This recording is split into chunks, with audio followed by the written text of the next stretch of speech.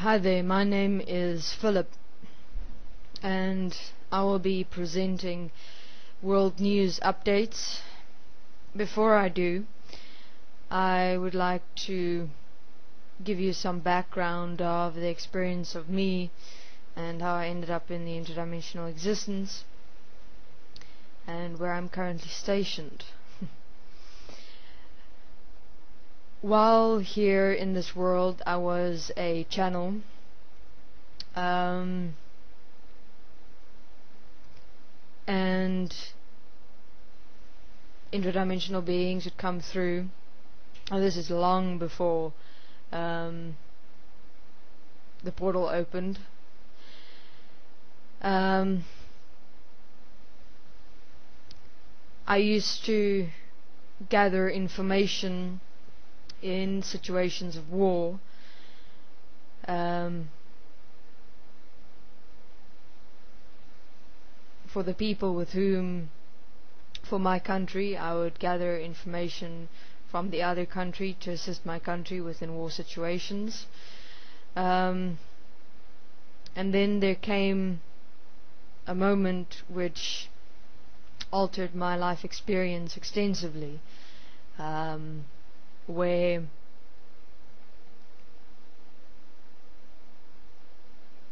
I had to choose between my platoon or a friend from another country.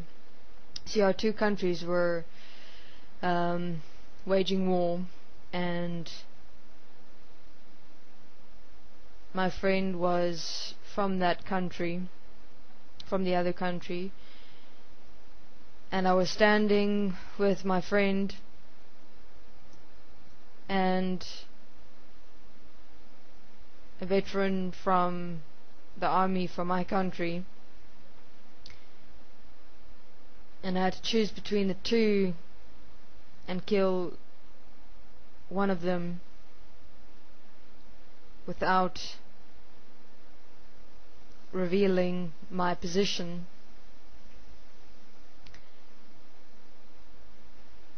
So I had to kill my friend from the other country.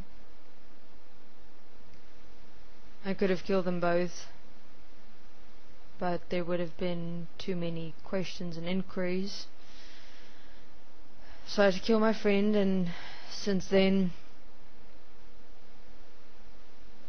I started drinking. I became an extensive drunk, but I still had the ability to channel, and that's how I got introduced to Eagle. Um, Eagle's ex-wife was my daughter, and that's how Eagle most predominantly got introduced to the interdimensional existence through me. Um, I was able to actually see the interdimensional existence when another interdimensional being came through me. It just came through randomly. Um,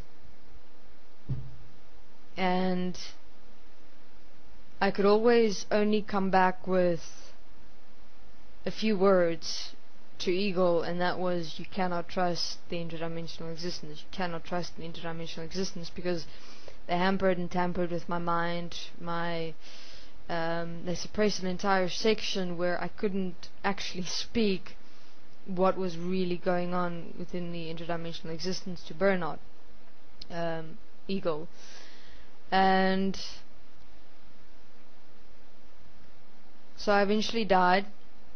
And when I got to the interdimensional existence I became anger. I mean you know throughout my life I was angry, pissed off, um, enraged for what I have done, that I had to kill my friend, to not um, reveal my position within gathering information between the two sides.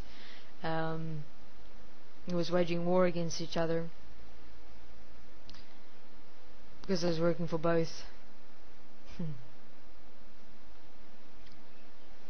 so I drank and I drank and I drank and I drank. Was angry as hell for most of my life, enraged. I lived anger, I lived rage, I lived hatred towards myself, drank myself to pulp. and then when I got into the interdimensional existence, I knew um, that I couldn't trust anyone or anything within the interdimensional existence. Nothing. I was so angry and so pissed off at these interdimensional beings when they came through me um, because I know what they had done to me. I know what I had seen, but I actually couldn't speak it. Um, they fused sections of my mind while they came through and while I could see what was going on in the interdimensional existence. And so that compounded my anger throughout my life, um, realizing that the interdimensional existence couldn't be trusted, um, what they were doing, what they were actually doing to human beings here when communicating. Um, and I was pissed off and angry that all I could get out and all I could say was, "You can't trust them. You can't trust them." Um, when Eagle used to come and speak with him, and while in the interdimensional existence I after I died I was just enraged still pissed off angry and so I walked as anger as rage. But I actually forced the anger forced the rage um, forced the madness so that everyone would just leave me alone within the interdimensional existence because I didn't want to have to do nothing with anyone. Um, because I knew the interdimensional existence were liars, deceivers, um, and after that, the only point I could get through again was when Winged opened up and I could speak through here clearly of what was really going on within the interdimensional existence, the deception, the lies, um, the entire interdimensional existence was of deception, was of lies. And only many years later could I clearly come through and actually communicate what was really going on. Um, and that's when the entire interdimensional existences process started. I could let go of my rage, my anger, self-hatred. Um, I communicated with my friend that I had to shot, had to shoot, um, which cleared most of it up. But it was very difficult. It was very hard to actually face him. That was an extensive point to transcend that guilt within myself.